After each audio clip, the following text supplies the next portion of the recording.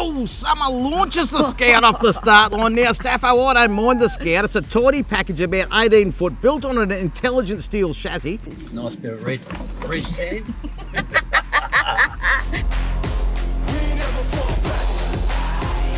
I'm going too fast. No, keep going.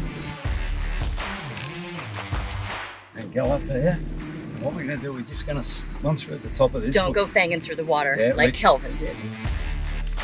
A slow, steady pace. How you feeling with this? That's good. You're doing well. I don't want to flood the car. No, you're good. Keep it at that pace.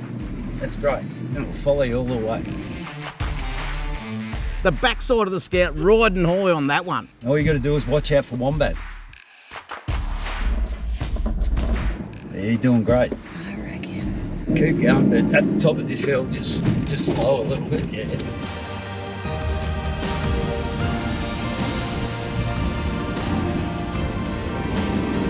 We're going to be end up right up the top of that hill. Come on, buddy. I moved around then. Stop the last flag. I think I went pretty well. You did. I don't know if I beat Kelvin in his pod, but I'm happy with what I did because it felt Yeah. safe and it was comfortable and Well, it was really fun.